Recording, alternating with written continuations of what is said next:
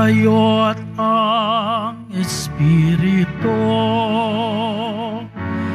ang siyang magpapatotoo tungkol sa aral ni Kristo.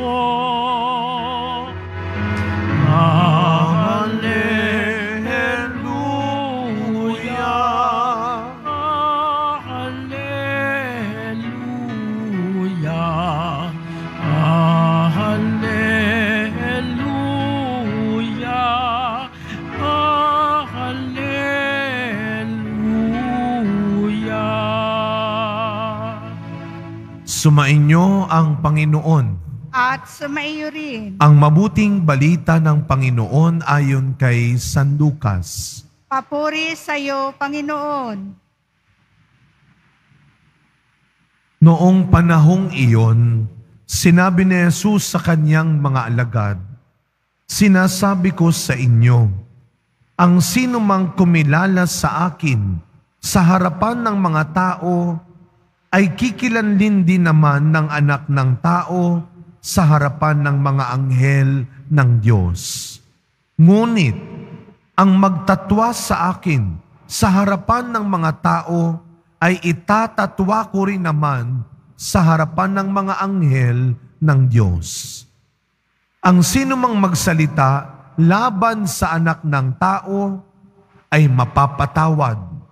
Ngunit ang lumait sa Espiritu Santo ay hindi mapapatawad.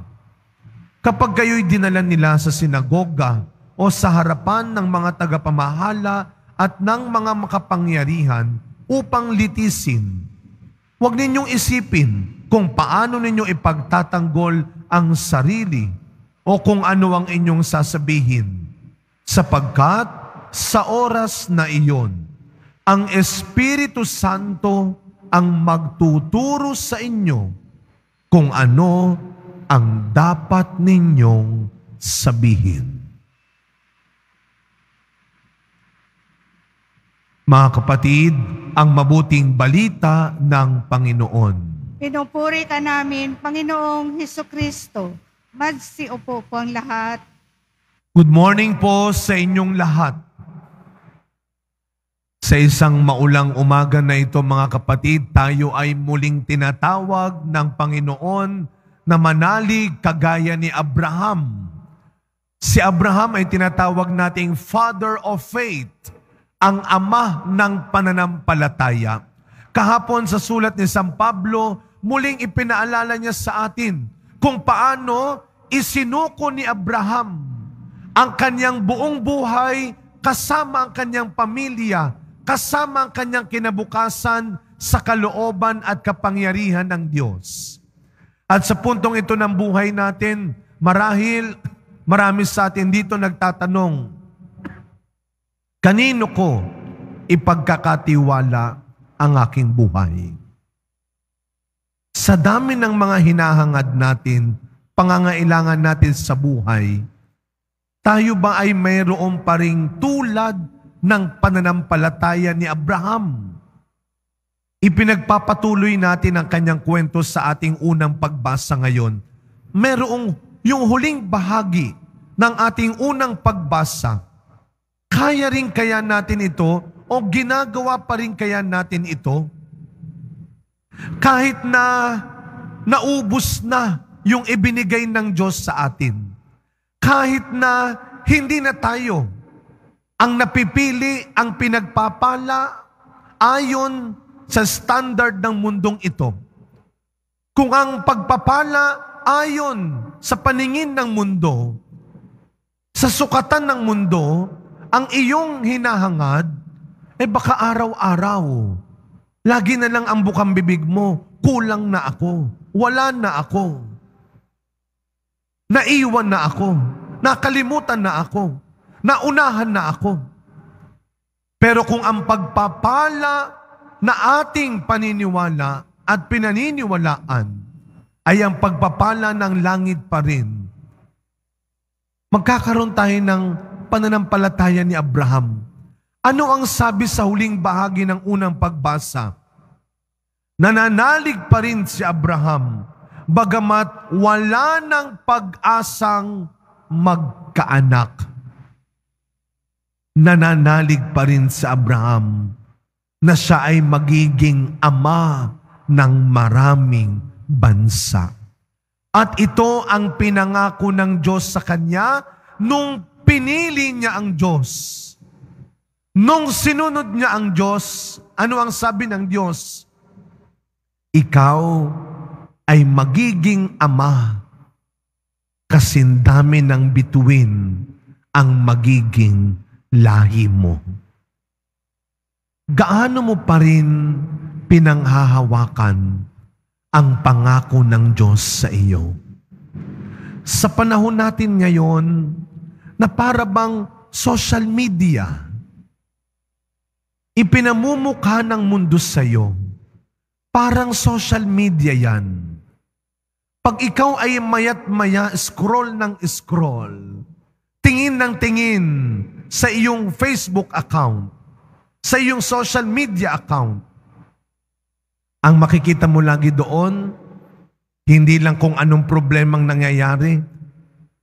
Minsan nga, hindi mo pinapansin yon. Hindi mo tinutuunan ng pansin yon. Yung mga problema, yung mga pinagdadaanan, ang lagi mo na lang nakikita, wow, namasyal na naman sila. May bagong bilis sila. Wow, meron na naman sila nito. Tapos anong mararamdaman mo? Buti pa sila. China all. Sana all. Kaya ang ending, eventually, pinanghihinaan ka ng loob. Parang wala ka nang makitang magandang nangyayari sa buhay mo. Kaya ano ang sabi ng ating ibanghelyo? Ito ang wag mong tatalikuran, ang Espiritu Santo. Kapag ikaw ay nakakaranas, nakakaramdam ka na ng matinding lungkot, panghihinayang, takot, inggit, galit, pray to the Holy Spirit. Tawagin natin ang Espiritu Santo, ang ikatlong persona ng iisang Diyos. Ang Espiritu Santo ay ang biyaya ng Ama at ng Anak ang Espiritu Santo ang siyang magpapalakas, magpapabanal, magliligtas sa atin laban sa kawalan ng pag-asa sa buhay. Kaya araw-araw, yun ang una mong hinahangad. Yun ang una mong wag dapat mawala. Come, Holy Spirit. Strengthen me. Help me. Protect me Save me. Sa pagkapatuloy na minsan natin mga kapatid, araw-araw, hindi lang tayo pinapangakuan ng Diyos. Araw-araw, kayang tuparin ng Diyos ang bawat niyang pangako, ang bawat niyang plano, hindi ayon sa mata ng mundo, kundi sa tulong ng Espiritu Santo. Araw-araw, hingin natin, hangarin natin ang Espiritu Santo, ang Espiritong magpapalakas, ang Espiritong magtatanggol, ang Espiritong magliligtas sa buhay natin. Come, Holy Spirit, I need you. Amen.